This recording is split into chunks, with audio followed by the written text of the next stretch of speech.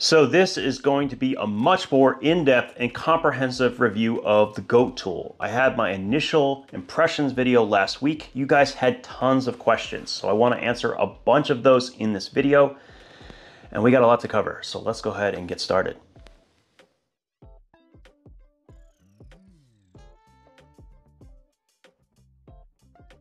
So firstly, let me say and be very clear that I am not sponsored in any way by Goat Tools. No one sent me anything. I actually purchased this through Kickstarter as one of the first 10 backers.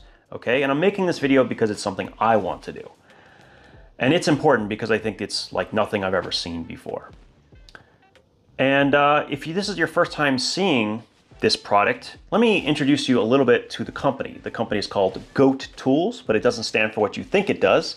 It stands for Gentlemen of All Trades. Very clever play on words, because none of us were thinking that.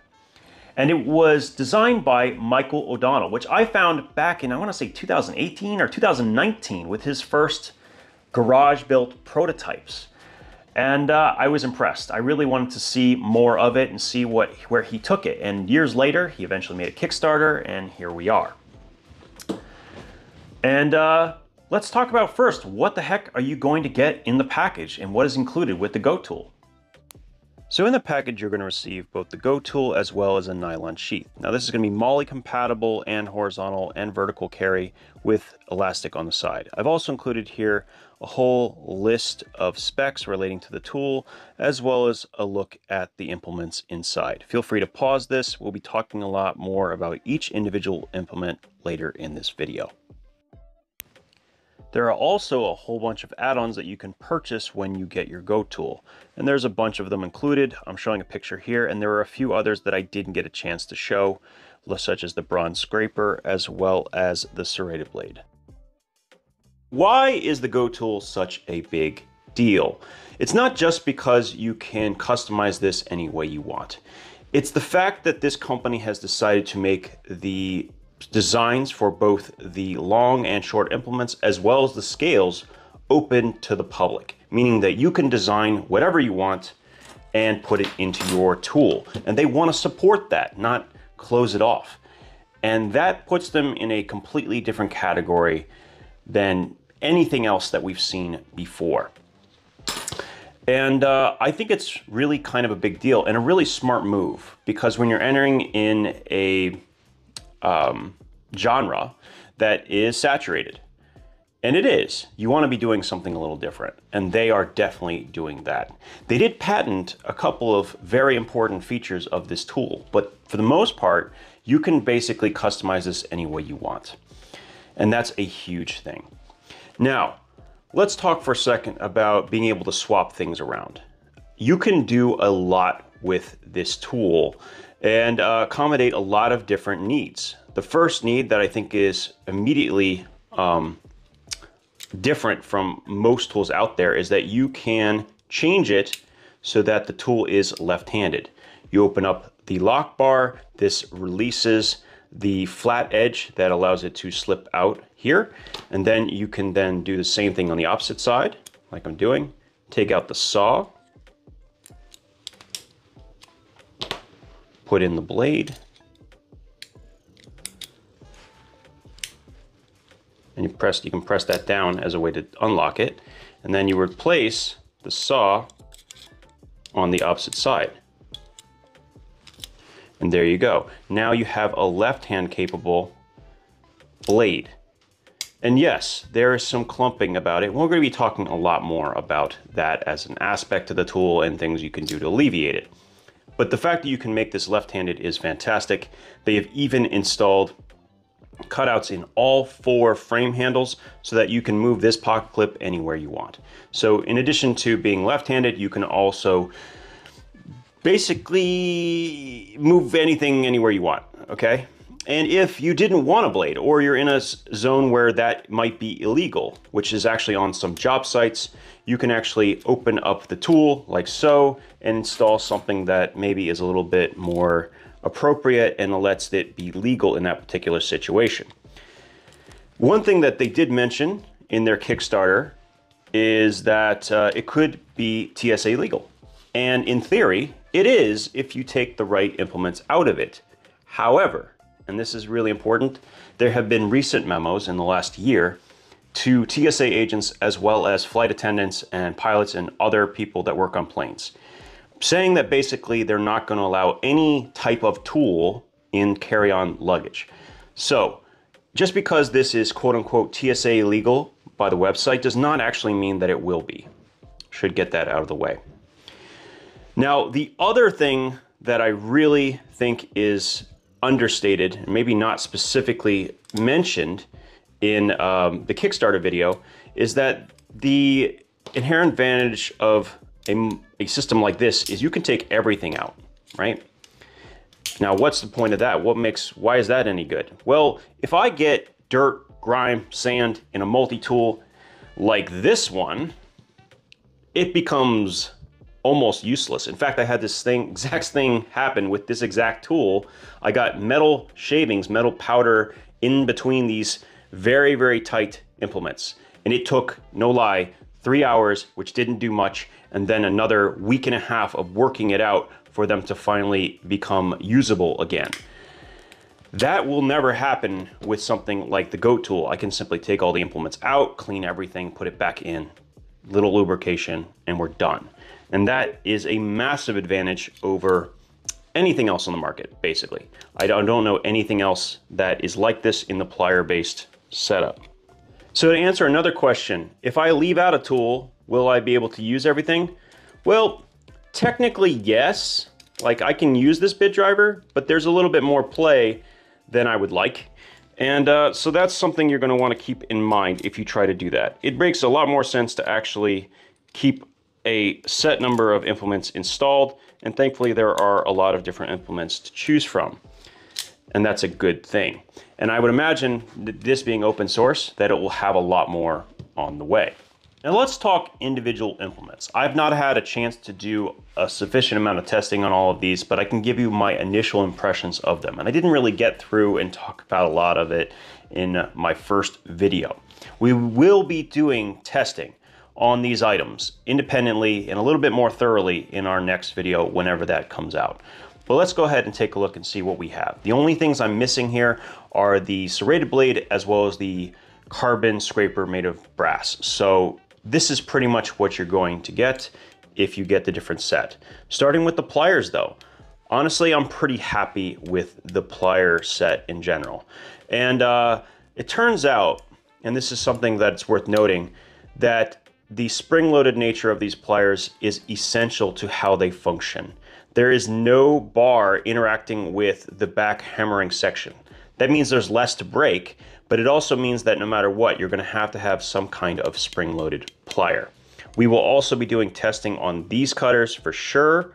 Um, and if you are an electrician or someone who cuts wires on a regular basis, if you could help me by finding me five different wire types that I could test against this, that would be great. Leave that down in the comments. That would be very, very helpful.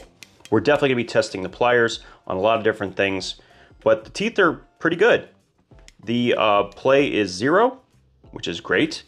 And uh, yeah, I kind of like the spring-loaded nature. I think it's probably gonna end up spoiling me. And since we're here talking about the pliers and the frame, there was a question about flex. Yes, there is some flex in this, but worth noting that any plier that has outboard accessible tools is going to have some flex. And the reason is, is because there is a second piece of metal on the inside of the frame that has to interact with the plier head, just like in this one right here. And what this does is actually flexes down a little bit and it will actually absorb some of that pressure. You're not gonna break it, but just be aware, there is a little bit of flex, but it's not an issue. And since we are also evaluating the handles, let's talk about ergonomics. This is about, yeah, I would say equal to the Wave overall, but it's a little bit different. The Wave is way more comfortable using it with the pliers, but it is also way less comfortable when using a blade because of the sharp edges on the saw as well as the sharp 90 degree angles on the back of the other blades. There's just a lot of sharp edges when using a knife on a Leatherman Wave. So it kind of evens out because when you're using it in this form, everything being flush to the frame, it's actually more comfortable to use the goat tool probably for a longer period of time. Quite interesting. And if you're using the scales, this actually does have more than just a look benefit, okay? These actually do offer some ergonomic advantages. It was a lot more comfortable to have the scales than to not have them. So I will probably end up getting myself a pair of uh, different titanium scales. And so we'll talk about that right now and why. It's not that these don't work, it's just that uh, I find the emblem, the big goat tool written on it, to be a little on the tacky side. And I find, at least in my experience, that when you don't give away the bank, you don't tell everyone what you're talking about right up front, they're more interested in finding out what the mystery is. So they would have been better off without it, in my opinion, and probably would have spent less money. Also, the cutouts for the screws, they work great with the screws that come with it, but I have yet to find another set of screws that work with this cutout because all of the other ones have a smaller head and so they actually don't interact with the with this scale and press on the scale, which is what's necessary to create tension in the plier pivot. So they will work. When you order these, you will get screws for each one and they will work just fine. But if you wanted separate screws, they're not gonna work quite as well, at least not any I've found yet. I'm going to test, I just got another set of screws and I'll be testing these. These are M3 screws and you need something that is either a four to six millimeter length approximately. Another great thing about this is that you will be able to replace many of the parts from off-the-shelf components like the M3 screws and the five millimeter pivots on the plier head which are also a relatively standard length. So really cool that we can find all of those things fairly readily. And uh, as we'll talk about when we talk about some disadvantages, the dimensions of these things are going to make solving those problems way easier.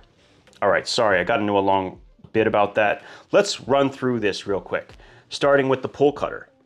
As I suspected, it's got great geometry and it does, it cuts really, really well and will work really well for opening strapping, boxes, and cordage of different types. So if you weren't allowed having a blade, this might not be a bad option to add to your kit. And actually it's the number one item that I'm replacing my blade with when I carry a folding knife.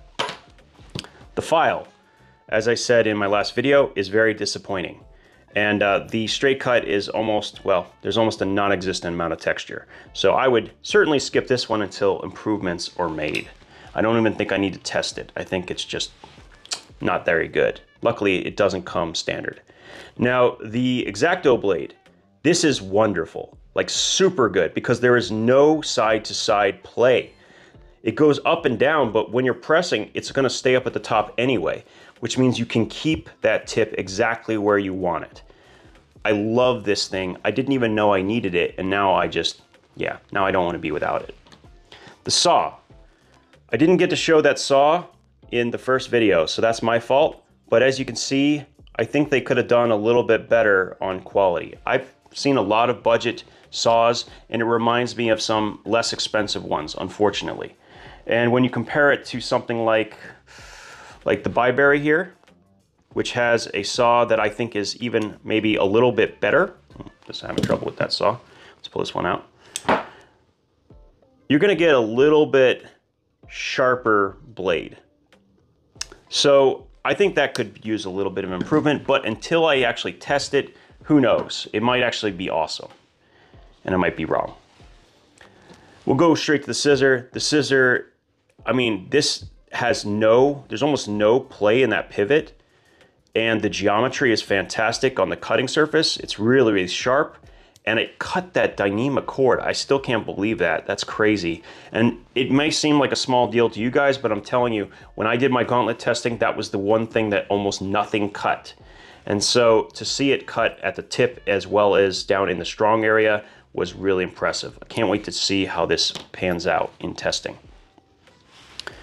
The blades, 440C base, that's great. It's gonna have a much better edge retention than 420HC. And as you might have seen at the beginning, you can see the HRC for these and the range that they come in. And then of course we have S35VN blade steel as an option as well. Need I say more? That's a really slick option. And at only $24 when it eventually comes out on their website, that's amazing that you could just pay a smaller premium instead of buying in a whole new 100 plus dollar tool in order to get access to a premium blade steel. Bit driver we've already talked about. I'm really looking forward to testing that. Um, this flathead, it's a great size. I love it, but it gets weakened substantially by having that 10 millimeter hex. For the use on um, camera mounts, this is perfect. It is not so perfect if I actually had a screw this big and I was trying to actually get something done with it. I worry that this is a, probably a little bit too thin. Reamer awl, or sorry, I should say just a reamer. I love that it has a curvature here because it means that I can actually scrape a curved object and maybe remove something from it. That's not always the case with reamers that go into multi-tools, and so that might actually work out to be a big advantage. Three different hex sizes, including the two millimeter that comes with it. No real complaints, and the nice thing is because there's no space between them, you can combine them in a combination and get everything from a 5 millimeter to a 7 millimeter to a 10 millimeter hex. And you can actually fit all three of these together in a 10 millimeter hole. And potentially it'll work, potentially. You have a can opener, bottle opener for those who really desperately need one. And then you have the flathead, which I have no complaints about. And there you go. Nothing to say about the serrated blade or the carbon scraper because I just don't have it. Almost forgot, the pocket clip is really surprisingly quite good. What they have done though is made that little tab that goes in just the right width so it doesn't have any movement. I have a ton of other multi-tools where there's a lot of movement and this is just actually flex of the pocket clip itself. I would like a little bit more tension personally. That's something I could actually just bend into it and they will have these clips available for purchase separately. So that's really neat as well. Let's talk about my favorite part about the multi-tool, modding potential. And as I stated, these have five millimeter pivot sizes, both in the side with the tools as well as the plier. You know it also has five millimeter pivots? The Byberry tools, as well as the Multi-Force and some other tools as well, which means I can pirate these things and potentially put them in here. I my head is swirling with different ideas, and this is just some of them that might come up in the future. So stay tuned for that. But let's go ahead and get on into the negatives about this tool. So it is not all sunshine and rainbows with the GOAT tool. There are some negatives. Now I briefly talked about some of the negatives relating to the scales. That's still true. But uh, there are two things that are inherently going to be made worse by the modular aspect. So I want to focus on those first. The first one we you probably have seen is that things clump. So if I go to deploy the blade one-handed, I potentially could have this bit driver you know, deploy as well. Now I've noticed as I worked through it that it's now become easier and easier as I go, as I basically polished the surface. And I probably could have even helped this along by truly polishing it if I really wanted to you can see it's starting to rub a little bit. And uh, yeah, it seems to be a lot easier to open one-handed now. If you go to something like the saw, less so, right? There's a lot of contact. That does not matter if you're doing it two-handed, but if you're doing it one-handed, it may change how easy it is to deploy the tools. And certainly not as easy to deploy this as it is things like the Leatherman Wave. Definitely not as easy as that. Now there are solutions to this. You can use um, one millimeter washers that are phosphor bronze that, and two of them to replace one of these implements and then stick your blade between the two. And now you will have a lot less friction and the deployment will be very, very smooth. That is the solution. And then you lose a tool slot. Well, kind of. You can also replace the um, Allen or hex screws with some Phillips screws, which is easy enough. And so then you can just simply take out the bit driver and then use that. So the problem with some of the negatives is that I can continually find solutions for them, but they require you to tinker. And that's gonna be true about this tool in general. The other aspect is maybe a little bit more serious. The other downside. That's the lockup. And so people have valid concerns about the lockup, and I want to touch on that a little bit. So here's the thing. The lock bar system really requires three different sides of contact. And the problem with this system inherently is that you only have two different sides touching the lock bar at any one time. So if you press hard enough on this, there's somewhere for the lock bar to go. And if there's somewhere for the lock bar to go, it probably will and eventually collapse when you put enough pressure on it. Now, fair warning, I have done this quite a bit with the blade already. So either the blade tang or the lock bar in this specific, specific position are probably worn down a little bit more than when I started. So if I push here, it's a little bit more difficult, but it's not particularly hard to disengage the lock right at this moment, right? So that is an issue that I think people want to be aware of. I also want to note that pressing or squeezing down on these metal tools did not seem to change the amount of pressure I needed. Now, on the saw, it's much more serious. Like I need a lot more effort to actually cause it to collapse. I also know that by doing just what I just did, I'm wearing out that lock bar much faster than it would under normal wear circumstances. My warning label for you guys is that if you get this tool, please do not treat it like a fixed blade or a heavy duty implement that you can, you know, go in there with a blade and prying and all that stuff. Please don't do that. Um, it's not going to hold up to that kind of abuse. It didn't, doesn't need to to be useful, but it's really important to note that because of the modular system, you're not going to have as strong a lockup as you will with other types of locks. This is important, so just be aware of it.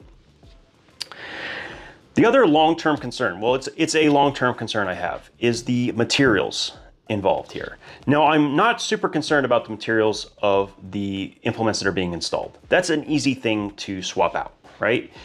What I'm talking about is the fact that the frame itself is made of 420 stainless. And 420 stainless isn't terrible, but it's also much softer than some of the other options.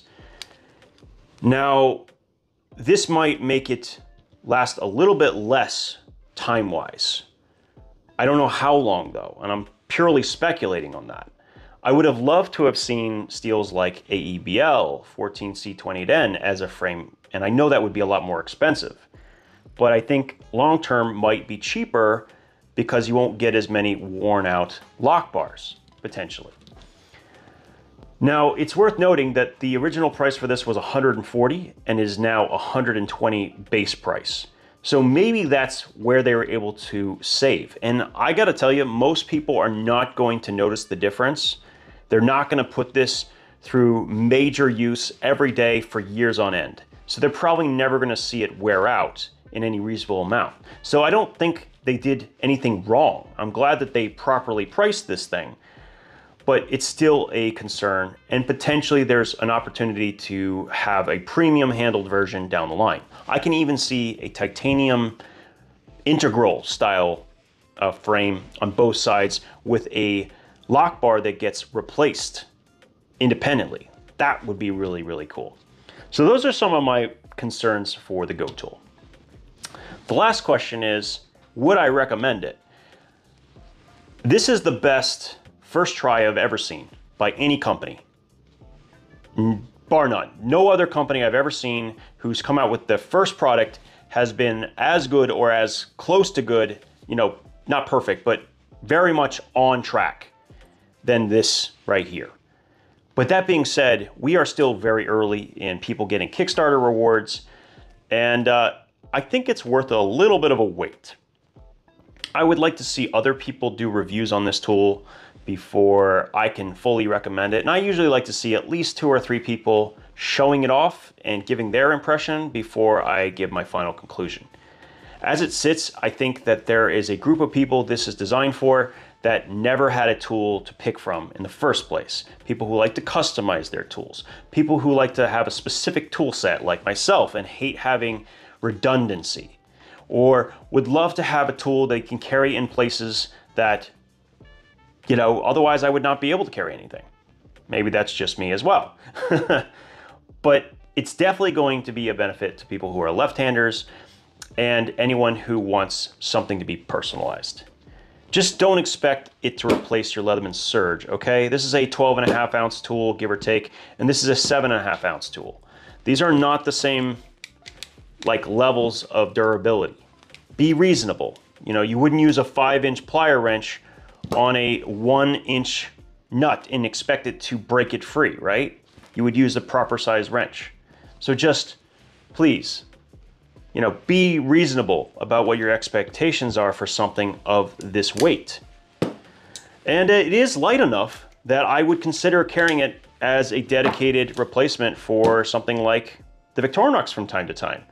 It's not as thin though, but it is certainly in the ballpark. Even with scales, it comes in thinner than the Leatherman Charge. So I was pretty happy about that. Yeah, I think that's about it. If you have any other questions, please leave them down in the comments and I'll try to get to them in the next video. So I want to say a big thank you for making it this far into the video. I know this is a lot of information to dump and it's a long video, but there's a lot to cover and I'm sure I've missed some things. And if you think there's a question that I didn't answer, please leave it down in the comments section. I'm looking forward to seeing how this pans out. I'm loving the idea that makers in the community will be able to create their own versions of tool sets that will work for the GOAT tool. And I think above all else, that's what really matters. There are a lot of things that can be improved, but the nice thing is that they can be improved incrementally, like in updates versus an entire overhaul, like creating a new operating system. And that's the beauty of the way the GOAT tool modular system works. The proprietary patented system works. So I'm looking forward to more from this company and also just seeing what people come up with. I've already been sent images of carbon fiber scales for this thing, and I don't even think more than 50 people have one. So yeah, it's gonna be really cool. And don't worry, we'll be making a lot more videos. I'll be modding things to fit into the GOAT tool. Yeah, we'll be doing a lot more. So thank you for your time and we'll talk again soon.